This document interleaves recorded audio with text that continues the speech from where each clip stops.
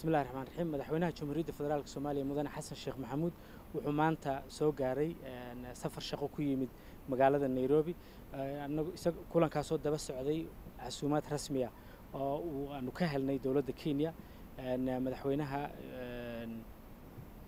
casuumaadda rasmiga aanu ka helnay oo daba socotay heshi iskaashiga labada wadan ee amniga iyo dhaqaalaha iyo ganacsiga maadaama soomaaliya iyo kenya laba wadan oo wax badani ka dhexeeyaan ay yihiin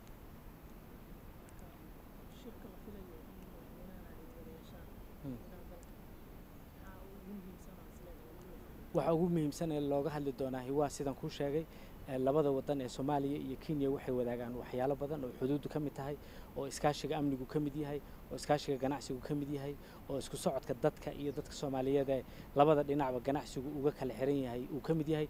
Marka inta badan waxaa xoogga la saari doona waxyaalahaas.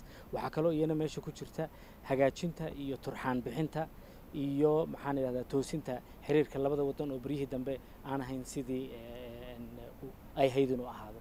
Cabdikariin arrinta qaadka waa ganacsiga labada dal ku jiraa waxaana la kenya ay naawilaysaa in qaadka soomaaliya loo furo. Marka arrintaasi ma tahay arrin si gooniya oo looga wada hadlayo. Arrin si gooni ah xoogga loo saarayo ma aha.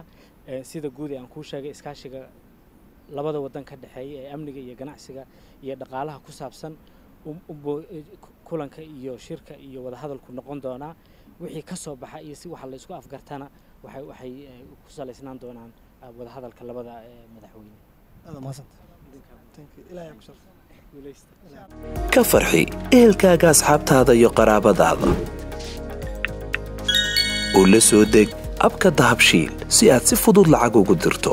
Marka aad la soo degto ablicathonka dahabshiil ee aad lacag ka dirayso isticmaal koorka khadmad la'aanta ee tree free oo kuu sahlaya in saddexda jeer ee ugu horreeya ee aad lacag dirayso aan wax khidmad ah lagaa qaadin dahabshiil howlfudaydiyahaaga maaliyadeed